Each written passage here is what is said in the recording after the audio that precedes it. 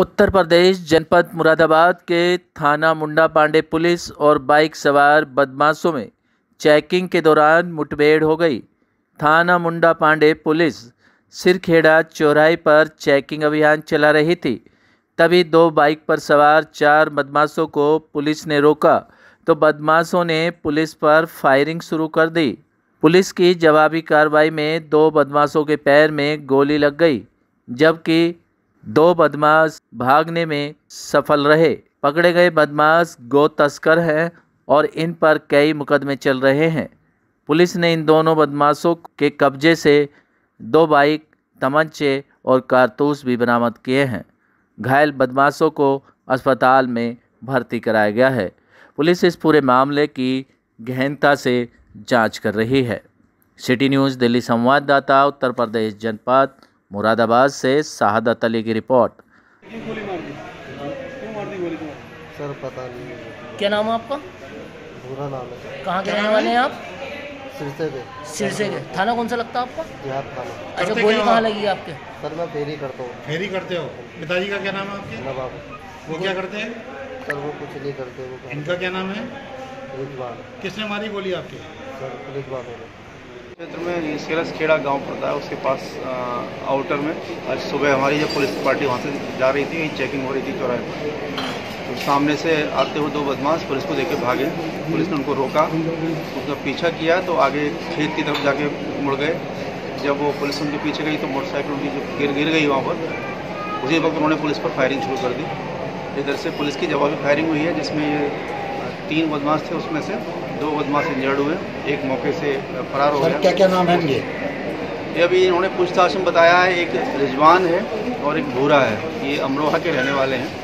Sir इनके आपराधिक इनका आपराधिक इतिहास है जिसमें जो रिजवान है वो गौकसी में पहले जेल जा चुका है उस पर और भी मुकदमे इसके अलावा हैं।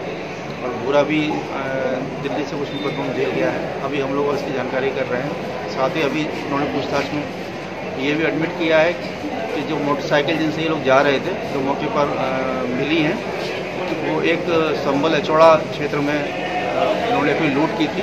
जो एच एफ़ सिटी डीलक्स गाड़ी है वो लूटी वहाँ से उन्होंने। इसके अलावा मैंड मेरठ क्षेत्र से एक और गाड़ी है जो इन्होंने वहाँ से चोरी की है। मुठभेड़ में कोई भाई हमारा गिरने से थोड़ा इंजर्ड हुआ है।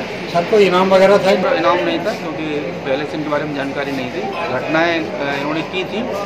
जो हमारे पालपाड़ा क्षेत्र में भी एक घटना हुई थी उसमें भी इनका हाथ वैद बाबूराम वर्मा, पंद्रह सालों का इलाज का भरोसा, हमारे यहाँ आयुर्वेदिक औषधियों के द्वारा सभी बीमारियों का सुविधाजनक इलाज किया जाता है, जैसे खांसी, सांस, दमा, बुखार, टाइफाइड, मलेरिया, पीलिया, बवासीर, शुगर, हेपेटाइटिस, खूनी बवासीर, पिरमे स्वपन दोष लघु शंका आदि का इलाज आयुर्वेदिक पद्धति द्वारा किया जाता है।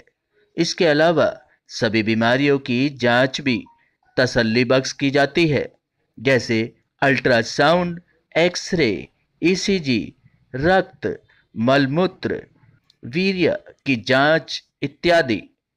हमारे यहाँ दिल्ली सरकार द्वारा टीकाकरण, टीबी का इलाज व जाँच मुफ़्त की जाती है। हमारा पता है वैद बाबूराम वर्मा चैरिटेबल सोसाइटी तीन सौ उनतीस, गली नंबर नौ, Mandoli extension near Nandnagri bus depot के सामने, दिल्ली तिरानवे। आप हमारे नंबरों पर भी संपर्क कर सकते हैं। हमारे फ़ोन नंबर हैं nine two one three three two nine two zero five, nine two double one four seven eight three one two.